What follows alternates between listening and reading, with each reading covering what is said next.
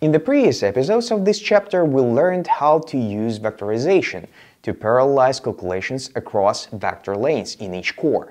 Then we talked about how to use OpenMP to scale applications across cores in each processor and coprocessor.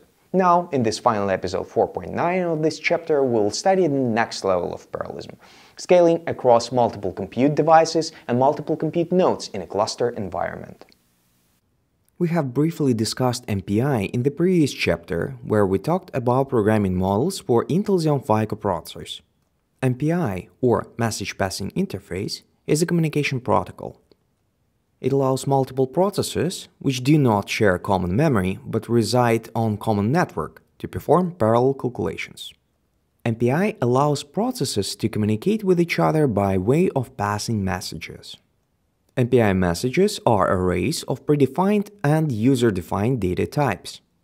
The purpose of MPI messages is defined by the programmer.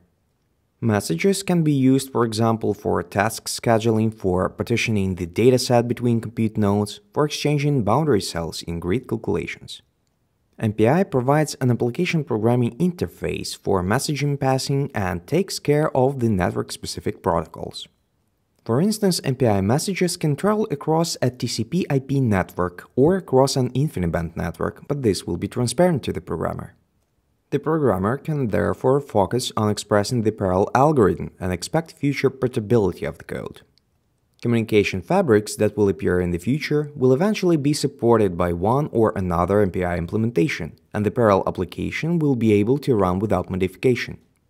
In the previous chapter, we saw examples that show how MPI applications must be compiled using the special wrappers over the C, C++ or Fortran compiler. To put native MPI processes on Intel Xeon Phi processor, we must set the variable I_MPI_MIC equals 1. This applies only to the Intel MPI implementation. The executable file that we run on multiple compute nodes must be somehow delivered to those nodes. This can be done manually or using a distributed file system, Finally, to run an MPI application, we must use the tool mpirun, to which we give the host names of the compute nodes and coprocessors on which we want to run, and the number of MPI processors for each host. We have already seen the general structure of MPI applications. The typical usage model is that multiple processors run the same application code. In this code, the processes must find each other by calling MPI init. Each process can determine its role in the application by querying two numbers. The first number is the size of the MPI communication world. This is the total number of MPI processes in the current application. The second number is called MPI rank, and this is a zero-based integer, which is the index number of the process. Each process has a unique rank. So using the rank, processes can branch out or partition the problem so that all processes team up to perform a parallel calculation. For convenience, processes may query their respective host names. In order to cleanly terminate an MPI application, all processes must call MPI finalize. Now let's talk about passing messages. There are two ways to pass message in MPI, point-to-point -point and collective communication. There are many flavors of point-to-point -point communication routines, but the basic ones are functions MPI send and MPI receive. In order to send a message, one MPI process must call MPI send and the other MPI receive. Often there will be an if statement in the code which determines which ranks must send and which receive a message.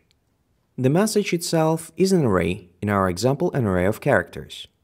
Communication functions must specify the location and size of the message, the source and the destination ranks, and they may also specify a tag, which is a user-defined identifier of the message.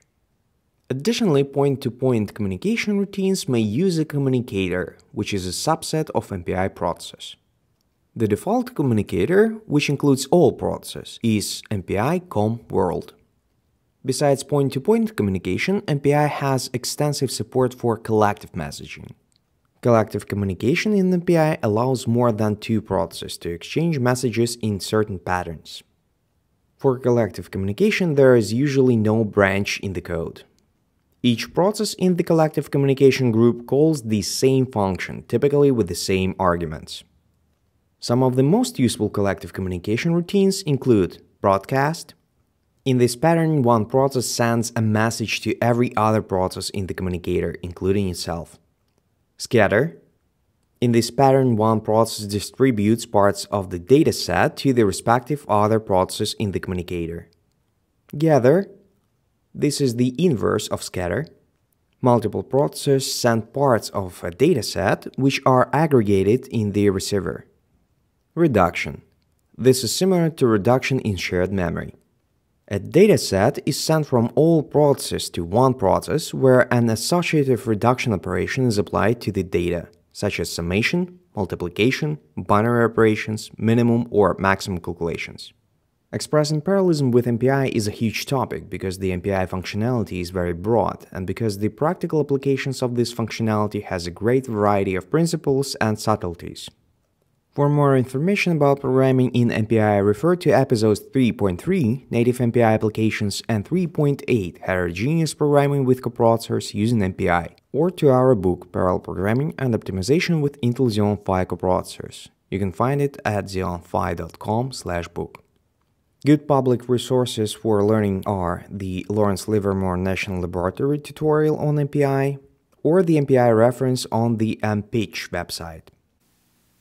This episode concludes our introduction to expressing parallelism on the level of vectors, cores, and clusters. In the next chapter, we will revisit automatic vectorization, multi-threading with OpenMP, and distributed computing with MPI in the context of performance optimization on multi-core processors and many core coprocessors. Thank you for tuning in, and I hope to see you in the next episode.